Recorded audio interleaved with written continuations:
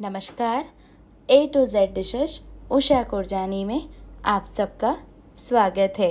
बैंगन एक ऐसी सब्ज़ी है जो बच्चों से लेकर बड़ों तक को काफ़ी कम पसंद आती है। खा तो लेते हैं हम, पर का बच्चों को तो बिल्कुल नहीं पसंद आती और बड़े भी इसे खाने में थोड़ा बहुत तो सोचते ही हैं।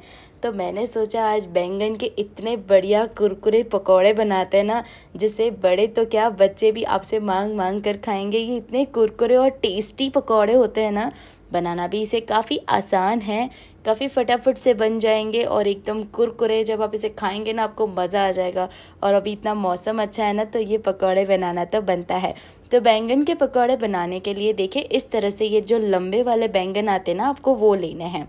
अब इसको मैंने पानी से अच्छे से वॉश कर लिया है इसके ऊपर का जो ग्रीन वाला पार्ट है, उसे निकाल लीजिए और इस तरह से इसे लंबे लंबे टुकड़ों में पतले पतले काट लीजिए। ज़्यादा मोटे नहीं रखेगा जब आप इसे कट करें, नहीं तो ये क्या कच्चे लगेंगे जब आप इसे बेसन के गोल में से अच्छे से कोट करके फ्राई करेंगे ना तो देखिए इस तरह से पतली पतली पट्टियाँ कट कर लेनी है और बैंगन देखिए, इस तरह से लंबे लेंगे ना तो काफ़ी अच्छे हैं, होंगे, काफ़ी बढ़िया लगेंगे। तो यहाँ पर आप देख सकते हैं, इसी तरह से मैंने ये सारे बैंगन को कट कर लिया है। ऊपर से थोड़ा सा नमक डालकर अच्छे से मिक्स कर लेंगे और 10 से 15 मिनट तक इसे ऐसे ही रख देंगे। तो यहाँ पर आप देख सकते हैं, मैंने इसे 10 से 15 मिनट तक नमक डालकर इस तरह से आपको इसे अच्छे से रख देना है। तो देखिए, इस तरह से पूरे में नमक डालकर रख दीजिए। जब तक इसे हमने रखा है, तब तक हम गोल बना लेते हैं। उसके लिए एक कप बेसन और एक चौथाई कप चावल का आटा। चावल के आटे से जो पकौड़े काफ़ी ज़्यादा कुरकुरे बनते हैं तो ज़रूर ऐड कीजिएगा।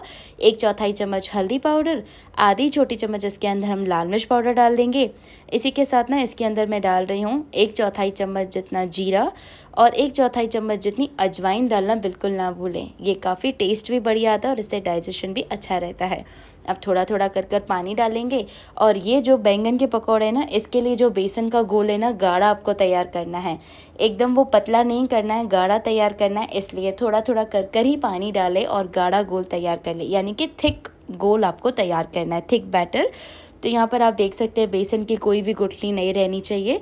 तो बस अच्छे से अपने हाथों की मदद से इसे गोल को बनाएँ थोड़ा थोड़ा पानी डालकर। यहाँ पर आप देख सकते हैं, पानी डालकर अच्छे से मिक्स कर लिया। अब इसके अंदर स्वाद अनुसार नमक और एक चौथाई चम्मच बेकिंग सोडा डाल देंगे और इसे हम फिर से अच्छे से देखिए इस तरह से मिक्स कर लेंगे। और आप देख सकते हैं, ये जो पकौड़े के लिए बेसन का गोल है, इस तरह से गाढ़ा होना चाहिए। तो ये तैयार है। अब यहाँ पर पकौड़े तलने के लिए ना हम तेल भी गर्म करने रख देंगे। तो अच्छा गरम तेल चाहिए तो ये गरम हो रहा है। यहाँ पर आप देख सकते हैं, ये बैंगन के देखिए, इस तरह से एक स्लाइस लेनी है। इस पर अच्छे से ये गोल लगाना है। अगर आप पतला गोल बनाते हैं ना तो वो ये टुकड़ों पर अच्छे से नहीं चिपकेगा और आपके पकौड़े अच्छे नहीं बनेंगे। इसलिए गाढ़ा गोल ही बनाइएगा। दोनों तरफ़ से अच्छे से गोल गोल लगाने के बाद गरम तेल में आपको डालना है। और जैसे कि नीचे से फ्राई हो जाए ना तो बस इस तरह से पलट लीजिए और एकदम कुरकुरे, एकदम बढ़िया से क्रिस्पी सुनहरा कलर आ जाए।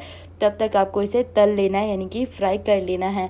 और सच बता रही हूँ इतने बढ़िया लगते हैं ना, सिर्फ़ आपको इसमें दो बातों का ध्यान रखना है। एक तो ये कि बैंगन को जब आप काटें तो पतला काटें, और दूसरी बात ये कि इसका जो गोल है, आपको गाढ़ा बनाना है, यानी कि थिक बैटर बनाना है। बस ये दो चीज़ें ध्यान रखें, और आपके पकौड़े बहुत ही बढ़िया बनेंगे।